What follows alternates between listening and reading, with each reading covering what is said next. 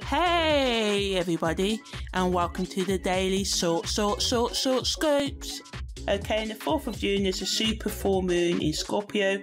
Mercury also makes a conjunction to Uranus, and the moon enters Sagittarius. So, the super full moon in Scorpio can bring up intense emotions, which can result in gaining more, you know, a deeper insight into yourself and any hidden feelings that you may have. This transit requires honesty and openness to identify what needs to be transformed and taking steps to release it.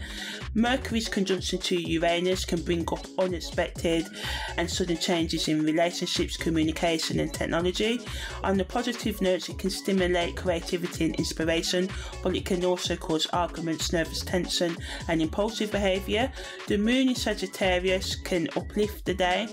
This energy encourages a sense of freedom and adventure, being more spontaneous. The best use of these transits is to pay attention to your thoughts, emotions, and feelings, and use this opportunity to let go of what no longer serves you and focus on the positives that the day has to offer.